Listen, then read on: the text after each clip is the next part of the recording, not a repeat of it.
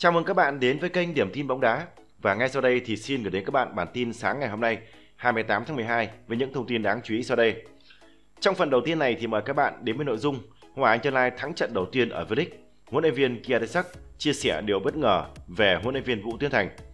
Tiếp đến là nội dung huấn luyện viên Philippe Jouzier nhận tín hiệu vui từ V-League 2023-2024.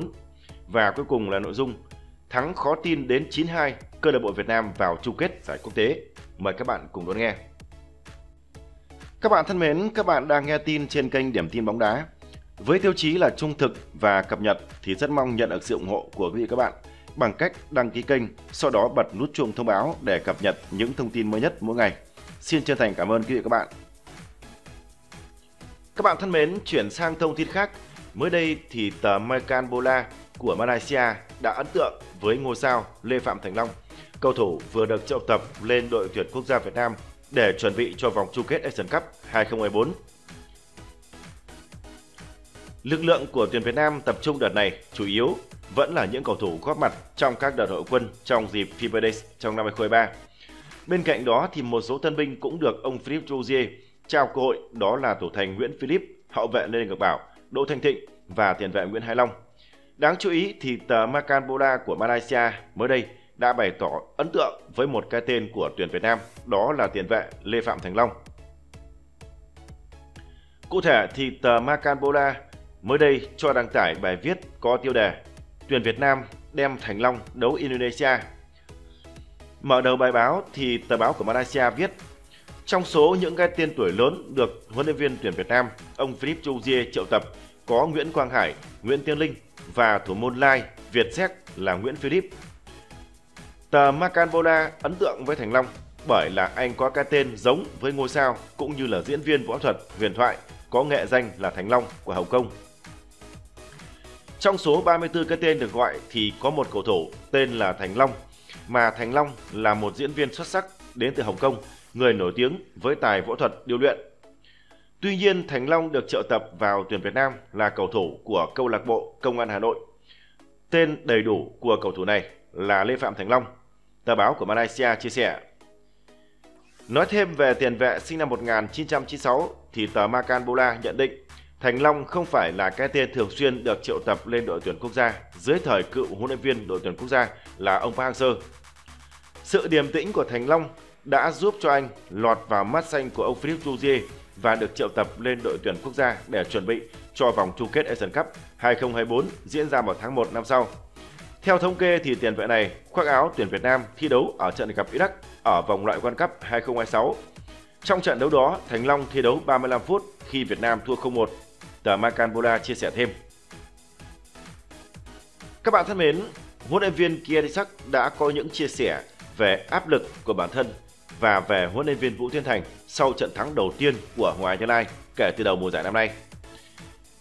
Trong trận đấu thuộc vòng 8 V-League 2023-2024 diễn ra chiều ngày hôm qua 27 tháng 12 thì Hoàng Anh Gia Lai dù là bị đánh giá thấp hơn cũng như trải qua nhiều bất ổn nhưng đã giành chiến thắng đầy bất ngờ trước câu lạc bộ Hà Nội với tỷ số 2-0. Sau trận đấu thì huấn luyện viên người Thái Lan Kia của Hoàng Gia Lai vui mừng cho biết Tôi cảm ơn các cầu thủ đã ủng hộ tôi. Cảm ơn giám đốc kỹ thuật Vũ Tiến Thành. Mặc dù chỉ làm việc 3 đến 4 ngày, nhưng với tinh thần tập thể, chúng tôi đã có sự chia sẻ về chiến thuật, đội hình và mang lại kết quả như mong đợi. Khi được hỏi về sự kết hợp thú vị giữa huấn luyện viên Kia Desak thân thiện và ông Vũ Thiên Thành đầy gai góc, thì huấn luyện viên trưởng của Hoàng Anh Lai cho biết Ông Vũ Tiến Thành đến Hoàng Anh Lai qua lời mời của Bầu Đức. Ông ấy nói tôi hiền quá, mắng cầu thủ ít quá. Ông Vũ Tiến Thành cứng rắn và mạnh mẽ. Chúng tôi chia sẻ lẫn nhau, bổ trợ cho nhau. Điều này rất tốt cho đội bóng. Chúng tôi sẽ cùng nhau thảo luận nhiều hơn nữa để tìm ra phương án tốt hơn.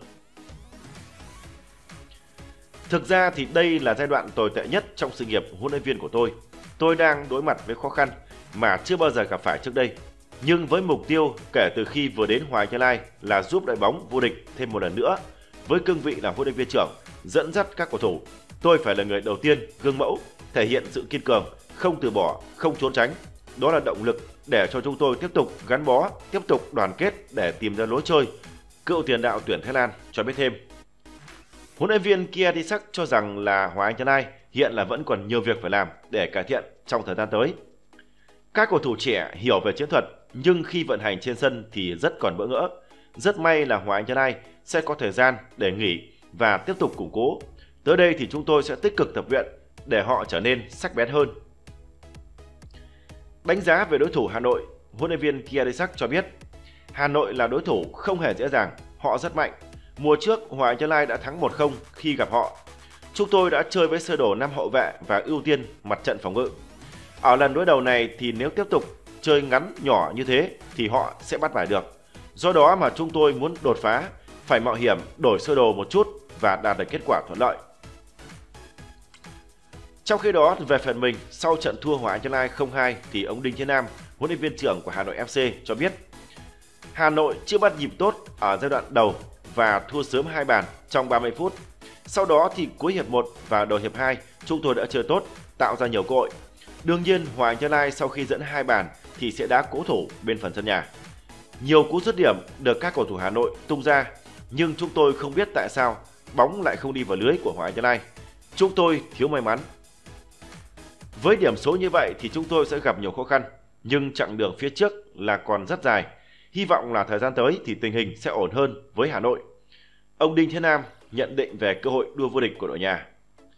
Các bạn thân mến, hiện tại thì Hoàng Anh Gia Lai vẫn đang đứng chót bảng xếp hạng khi mới chỉ có 5 điểm, thua đội xếp trên là Hà Tĩnh 1 điểm. Trong khi đó, Hà Nội FC hiện đứng ở vị trí thứ 8 với 10 điểm. Đây cũng là trận đấu cuối cùng của cả hai câu lạc bộ Hoàng Anh Gia Lai và Hà Nội ở V-League trong năm 2023. Từ ngày 28 tháng 12 thì tất cả các đội sẽ bước vào quãng nghỉ để nhường chỗ cho lịch hoạt động của đội tuyển quốc gia. Chuyển sang thông tin khác, các bạn thân mến, trước vòng đấu thứ 8 của V-League năm nay, Nam Định vẫn dẫn đầu giải đấu với 16 điểm sau 7 trận. Tại vòng 8 thì đội chủ nhà gặp một thách thức lớn trong nhiệm vụ bảo vệ ngôi đầu là câu lạc bộ mới lấy lại cái tên huyền thoại Thể công Viettel. Những tưởng là Nam Định sẽ phải trải qua một phen phải khổ sở trước đội khách nhưng mọi thứ đã diễn ra tại sân Thiên Trường lại rất khác. Ngay ở phút thứ 30 thì Rafael Sơn đã pha bẫy việt vị băng xuống hạ gục thủ môn Văn Phong bằng cú sút chân phải đưa bóng về góc xa đầy tinh tế. Tỷ số là 1-0 cho Nam Định. Đến phút 37 thì Hendrio đã cướp bóng từ chân Đức Chiến, thoát xuống hạ gục thủ thành Văn Phong, tỷ số được nhân đôi cho Nam Định. Dẫn hai bàn từ khá sớm, Nam Định lại càng chơi càng hay.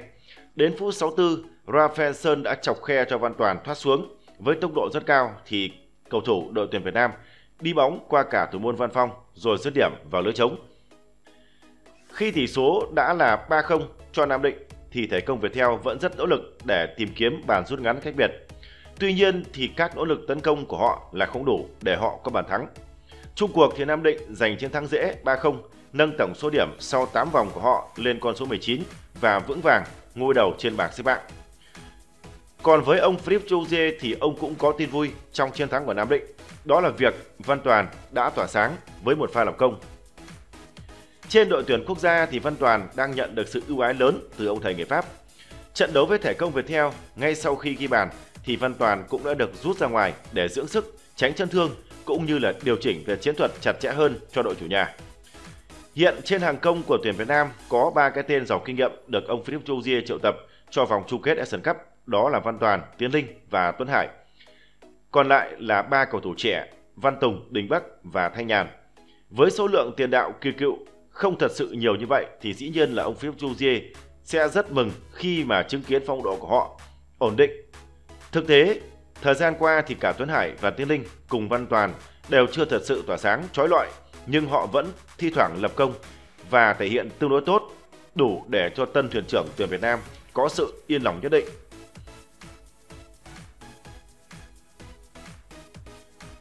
Sau trận đấu thì chia sẻ về vị thế của Nam Định hiện tại, tiền đạo Văn Toàn cho biết Trận đấu với Thể công Viettel cũng là trận đấu cuối cùng của Nam Định trong năm 2023. Đội lại được thi đấu ở sân nhà nên các cầu thủ nỗ lực để giữ vị trí đầu bảng. Tôi xin cảm ơn người hâm mộ Nam Định đã ủng hộ Chúng tôi đã cố gắng hết sức qua từng trận. Dẫu sao thì đây mới là giai đoạn đầu của mùa giải. Đội sẽ phải cố gắng hơn nữa khi V-League trở lại vào tháng 2 tới. Thành công của Nam Định không chỉ bởi thắng 1 hoặc là hai trận. Chúng tôi luôn phân tích, nghiên cứu kỹ các đối thủ để đưa ra đấu pháp hợp lý như trước thể công Viettel, nếu để họ triển khai bóng thoải mái thì sẽ rất nguy hiểm. Nên chúng tôi quyết định gây sức ép tầm cao, không cho đối phương có thời gian để xử lý bóng. Hiện tại thì có một chút đáng tiếc, dù Nam Định đang là đội dẫn đầu tại V-League, nhưng hiện thì đội bóng này chỉ có duy nhất một đại diện lên đội tuyển Việt Nam, đó chính là Văn Toàn. Chia sẻ về điều này thì Văn Toàn cho biết, tôi nghĩ là mỗi huấn luyện viên có triết lý là khác nhau, lựa chọn con người khác nhau. Hy vọng trong những đợt tập trung sắp tới thì Nam Định sẽ có nhiều cầu thủ lên đội tuyển, đó cũng là động lực để họ thi đấu tốt hơn. Văn Toàn cũng hào hứng khi cho biết hướng đến vòng chung kết Asian Cup 2023. Đó là giải đấu hàng đầu của châu Á, mọi cầu thủ đều khát khao, đều có mặt. Nhật Bản, Iraq, Indonesia đều sở hữu cầu thủ có trình độ tốt, đặc biệt Nhật Bản đang có những gương mặt hàng đầu thế giới. Đó là động lực để cho chúng tôi cố gắng thi đấu. Các bạn thân mến, sau khi câu lạc bộ Thái Sơn Nam, nhà đương kim vô địch Futsal của Việt Nam để thua trận bán kết trước Thammasat với tỷ số 1-4, niềm hy vọng đổ dồn vào Sahako FC đại diện của Việt Nam gặp câu lạc bộ Selangor Mark của Malaysia trong trận bán kết còn lại của giải Futsal Thành phố Hồ Chí Minh mở rộng. Ngay từ những phút đầu của trận đấu thì Sahako đã hoàn toàn áp đảo Selangor Mark. Đại diện của Malaysia liên tiếp phải chống đỡ những pha tấn công tốc độ của câu lạc bộ Việt Nam. Chỉ sau 4 phút đầu tiên của hiệp 1 thì đại diện Việt Nam Sahako FC đã sớm vượt lên dẫn trước 2-0. Những nỗ lực của đại diện Malaysia chỉ giúp họ có được một bàn rút ngắn tỷ số xuống còn 1-2 trước khi Sahako tấn công ấn tượng và ghi thêm hai bàn thắng nữa. Hiệp 1 sau đó khép lại với tỷ số 4-1 nghiêng về phía đại diện Việt Nam cùng một thế trận hoàn toàn là lấn lướt. Sang hiệp 2 thì thế trận không có gì thay đổi. Thậm chí các chân sút của Sahako còn thi đấu thăng hoa hơn với 5 lần khiến cho thủ môn đối phương phải vào lưới nhặt bóng. Trong khi đó thì giống như hiệp 1, tất cả những gì mà Selangor Mark có thể làm được chỉ là ghi một bàn thắng. Trận đấu kết thúc với tỷ số đậm đà 9-2 nghiêng về phía Sahako, đại diện của Việt Nam. Như vậy là Sahako sẽ vào chơi trận chung kết của giải Futsal Thành phố Hồ Chí Minh mở rộng lần thứ 15 với đối thủ Thái Lan là Thammasat. Trận đấu sẽ diễn ra vào lúc 17 giờ ngày 29 tháng 2. Trong khi đó thì trận tranh hạng 3 là cuộc so tài giữa Thái Sơn Nam và câu lạc bộ Selangor Mark bắt đầu trước đó, tức ở lúc 14 giờ cùng ngày. Cả hai trận đấu sẽ diễn ra tại nhà thi đấu Lãnh Bình Thăng, quận 11, thành phố Hồ Chí Minh. Xin chân thành cảm ơn quý vị và các bạn đã quan tâm theo dõi.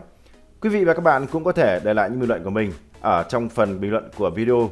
Và bây giờ xin chào và hẹn gặp lại quý vị và các bạn ở những bản tin tiếp theo.